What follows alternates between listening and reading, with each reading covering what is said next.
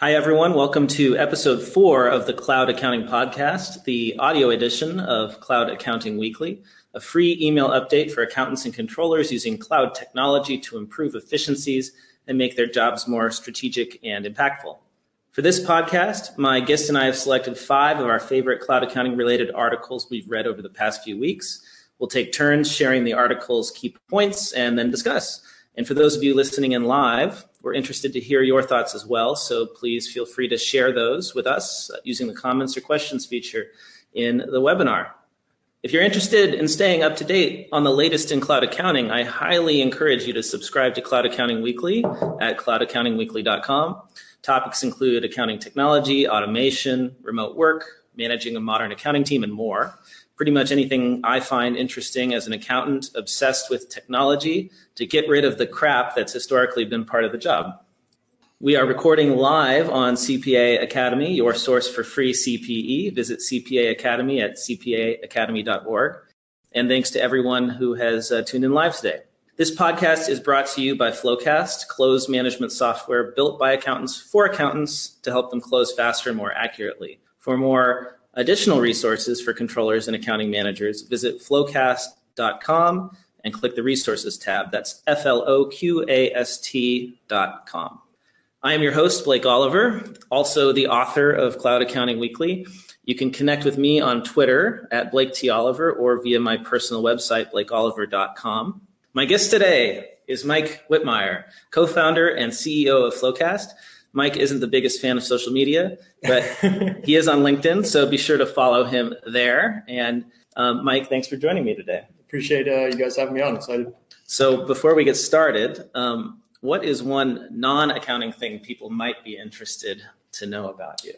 Well, this this beard is somewhat recent. I, it's certainly after the public accounting days, and post baby is when I decided to stop shaving.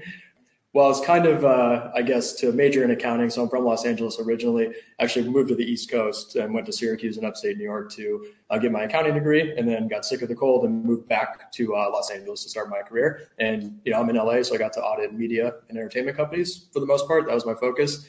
Big Dodger fan. well, let's get right to it. So, as I said before, uh, the point of this podcast is we talk about our top five cloud accounting stories from the past week, and, and I'll start with number one. This is a story out of the Harvard Business Review entitled, If You're So Successful, Why Are You Still Working 70 Hours a Week?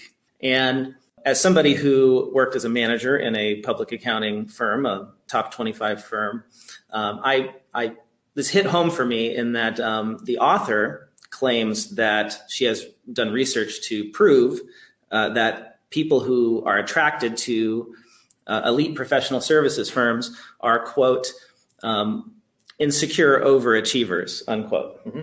And um, what she says about them is that they are exceptionally capable and fiercely ambitious, and are dr- but are driven by a profound sense of their own inadequacy that typically stems from childhood. And they work long hours to prove their value to the organization due to difficulty of measuring the output of knowledge workers. When it's hard to measure the output, you just want to be the last person to leave the office if you really want to show that you're the best. And even more, she she actually interviewed this the, the author Laura Empson interviewed uh, uh, hiring managers at professional services firms who acknowledged that they actually deliberately target this type of person. So, Mike, I really wanted to get your take on this, being a former Big Four yeah, yeah. accountant. Since I was, you know, in a I would say mid-sized firm, what do you, what do you think? Is this is this real or is this crap? I never thought about it this way until it came up in the article. And it's a little bit disturbing because I thought back, I was like, wow, that actually really applies to how I thought about my job at Ernst & Young. You know, you're kind of, in a sense, just judged on the time you leave at the end of the day. People certainly don't remember what time you got into the office. Your the quality of your work papers isn't necessarily the determining factor of if your team thinks you're good at your job or if you really care about being part of the team. It's what time you leave at night that determines all of that. And I also think, just kind of in thinking back about the type of people that end up in a professional services role, generally you grow up with very hands-on parents who yep. expect results from you. You got to get A's. You got to get you got to get A's. You need to get great uh, SAT scores or ACT scores, whatever the, whatever the kids take nowadays. Um, and you just have they're much higher expectations on you, and you're always judged based on your output.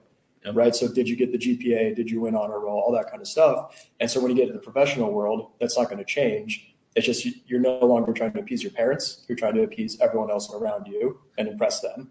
Well, and that's interesting what you said about grades because in school it's actually very easy Yeah. to measure your output. It's just whatever your GPA is. Mhm. But I felt like when I entered the the professional world, suddenly that that's not quite the same, right? No. I mean, what I was graded on at my firm was my billable hours, Mm. right? Yep. So like if I want to be in the top 10% or I want to be leading my my group, I have to just put in as many hours as I can. Mhm. And it was it was weird for me, you know. It was, our, ours was kind of a mix. So we did performance reviews every year, and it was a pretty intense process. And but it was very simple. It boiled down to you got a one to a five, and that determined your raise for the year. And I came to the conclusion that it's a popularity contest at the end of the day, and a lot of go a lot of work goes into being the most popular person on your audit team.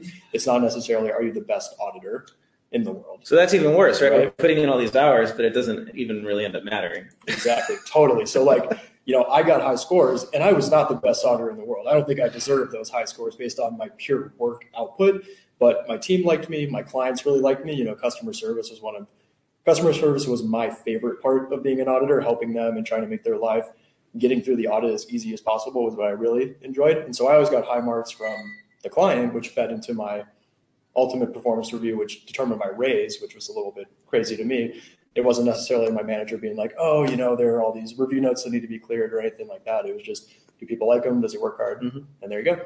Well, and so the question might be, uh, how does this all tie into cloud technology or accounting? And, and the way I'm thinking about it is, is, I mean, one big problem in accounting is that we haven't had a way to measure, uh, measure people's outputs, Mhm. right? There, has, so, so what I'm excited to be at FloQast because we have actual analytics Yeah. in the application, so you can see how many reconciliations somebody has done, how many tasks they've done, and you can act, you can see if somebody's doing double the workload of somebody else Yeah.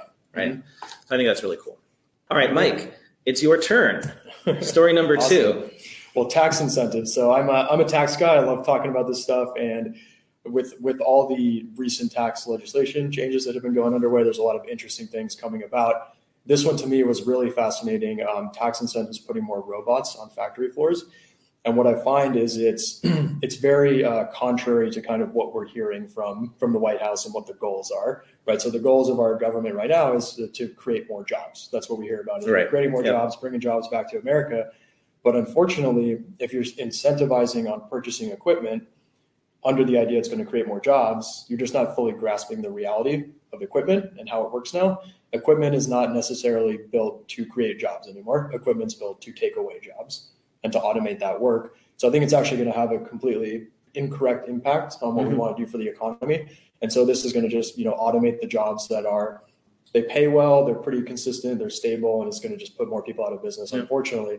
And I don't know how much that's really contemplated, but the, putting tax incentives like this in place, you know, you used to have to uh, depreciate over a period of time. Now you get to take all the deductions up front is going to be significant. Um, and there's even a quote in there. A gentleman by the name of Ken Mathis talks about how he's going to put 1.5 million dollars into this, and it's going to be in robots, not in workers, to to make up for the Mhm. uh, kind of lack of inefficiency.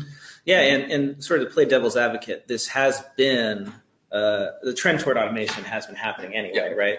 So, uh, is is tax reform really responsible for it, or is it just putting you know extra gas on the fire? Yeah, ta- tax reform is a, a means for nudging people in a certain direction. Yeah. right? It's, it's very rarely the complete catalyst for something, but it can encourage certain behavior and maybe not always encourage the intended behavior necessarily. Um, but I feel like this is a situation where they're influencing what's going on. Now, as, as software developers, I, I suppose it would be nice if companies could fully write off uh, all the cost of, of, of what we do, but unfortunately, this is only for Yeah. capital investments, right? Yeah, if we could, I mean, you know, we have, we technically capitalize our software. If we could expense all that immediately, it would be of great benefit to our, our uh, financials. Yeah.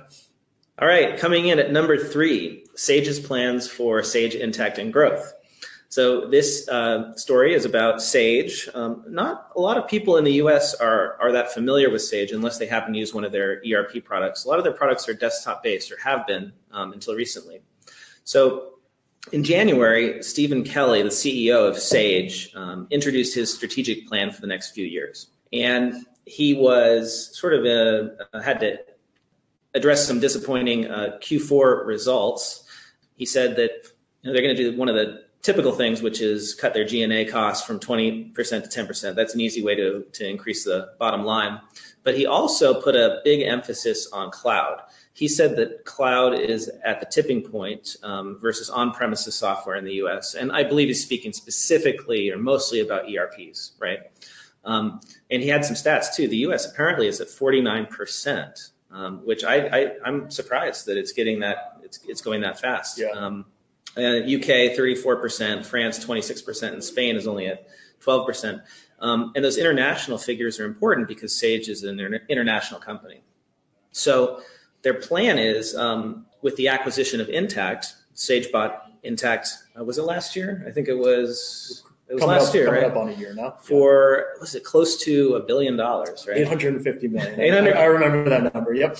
So Sage bought Intacct, which is a, a cloud-based ERP solution based uh, here in the U.S., really exclusive to U.S. customers at this point. And so their plan is to internationalize Sage Intacct and use that as one of their top cloud um, solutions Yeah. going forward. So that's really exciting for for you know for us. Yeah, I mean, for starters, Intacct's a great company. You know, as a group of people, they're just great. So it's a certainly an excellent acquisition by Sage. I think it makes a ton of sense for Sage, right? They're they're very dominant in Europe. That's that's where most of their business is, and it's mostly on premise. And so this gives them an opportunity to not only expand into the U.S. but also expand to the cloud by buying a great product immediately. So this makes a ton of sense for me. And Intacct, you know, we work with them, we integrate through their API, uh, great partner, and I think that if you're going to kind of pluck any cloud ERP out there to want to work with, that's the right one to to make a move with. And I was actually quite surprised. I thought my prediction for the last couple of years has been that Microsoft was going to buy them. Mm. That to me made a lot of sense to kind of plug that in. Uh, but I think Sage was the highest uh, the highest bidder at that at that point. Well, they certainly did pretty well for Yeah. themselves. They did they did well. I, I was a little surprised they they forewent an IPO though. They were they were certainly an IPO level company marching that direction, and I, I was a little taken aback by the sale. We've got a question from uh, Chris. Chris says, "Are robots? Let's see. I think you, you mean to ask, are robots self-maintaining?" And this this goes back to our previous uh, Yeah. uh, article, and thankfully, no, they are not yet. Yep. not, not yet. That's the job opportunity, being the administrator of the automation software or the one who maintains the equipment that's automated. Yep. I think once the robots can maintain themselves, we're in some trouble, That's the downward spiral. Yeah. and especially once they can build more robots, then we'll be then then that'll be an interesting world. All right, number four, Mike. This is one of yours. Uh, article in Accounting Web by Trent McLaren. Yeah, I mean, it's, you know, Slack, a, a great piece of software, super easy to use. And I think Slack becoming very popular with accountants, right, is it makes a lot of sense just overall with the technology shift. So accountants, to me, it seems like we have all these different pain points, and rather than purchasing one bulky ERP, let's go out and find maybe best in breed solutions for each of those areas. This fits the bill for me. It plugs into that happening further. It's an excellent communication tool. We use it internally email killer, right? So you get to have these communications where the whole company understands what's going on or your channel understands what's going on. And then by opening up their API, I mean, it's incredibly flexible and you can do all kinds of stuff, whether you're integrating with third party applications or you can even, it's fairly simple to integrate it with maybe in house software Mhm. that you've built as Yep. well. So super flexible. I can understand why it's becoming so popular in the accounting world. And I don't, I don't see that slowing down, you know, at all. So, for those of you who want to read this article, I recommend it. Uh, it's called A Scary New Era of Slack Accountants on accountingweb.co.uk. Uh, one of the additional points that I really like in the article is Trent talks about using Zapier Mhm. to integrate applications with Slack. And Zapier, um, if you haven't, if you're not familiar with it, it's sort of like a, an API enabler, right? So instead of a company having to build an integration with every other product that's out there, maybe hundreds, they can simply integrate with Zapier, and then Zapier facilitates the integration with all the other apps. So it's it's like a cloud pipes type solution, really really powerful. An example of, of Zapier, the way I use it, is to stay on top of social media. Uh, I can connect Twitter and Facebook to a channel in Slack, Yeah. and and you can even do cool things like track uh, all of the tweets about a specific event using the hashtag Mhm. and stuff like that. So like during Sage Intacct or doing SuiteWorld, that's a cool way to stay for the team to stay on top of uh, what's happening back home. I don't I don't want to sell for them too much, but their software is great. And actually, back in the day, I'm an accountant. I was able to write an integration with them. When we started, we were using Xero. Um, you're, mm-hmm. you're, a big fan of Xero. We were using that initially, and we had then we're using the small little CRM, and they actually had a connector available.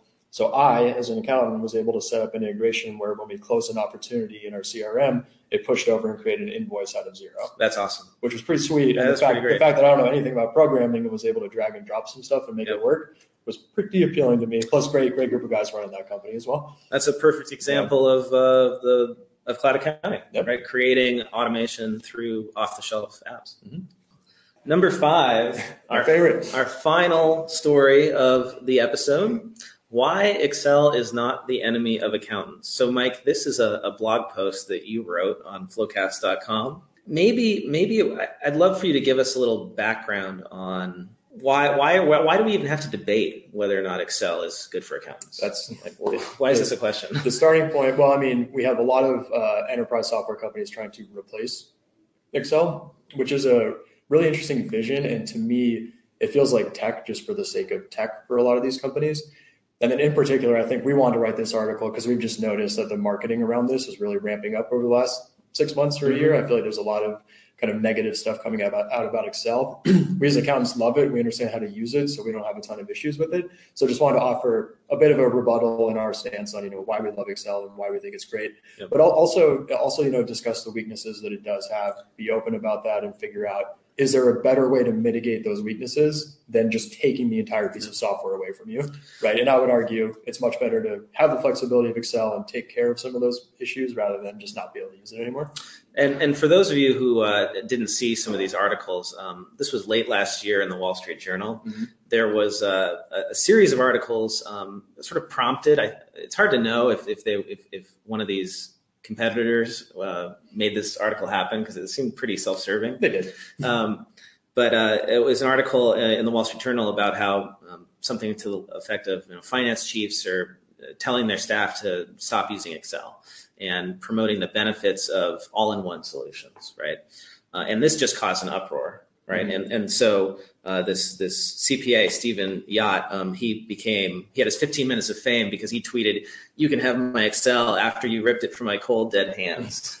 And of course, then that became an article, and you know I, I find this fascinating because I feel like this this is a really a central debate around how should software be structured these days, right? Should should software be um, multiple applications that you yeah. put together and layer on top of each other and create a tech stack? Or should you go with that all in one solution? Yeah, uh, you're, I think you're spot on. At the end of the day, it boils down to that, that debate.